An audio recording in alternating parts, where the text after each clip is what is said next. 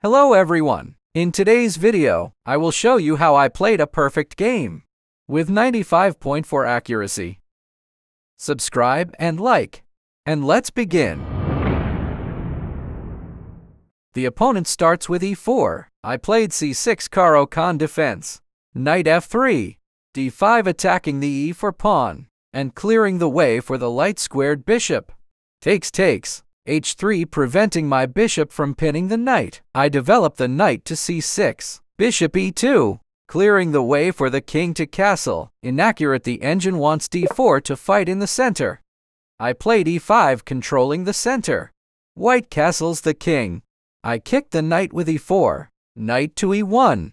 Queen h4 starting to attack the white king. d3 wants me to take. To attack the queen with knight f3. I ignored him and played bishop d6, adding more pieces for attack. d takes e4. In this moment, I start calculating. I knew I had something. I ended up sacrificing the bishop. Bishop takes h3. Brilliant move.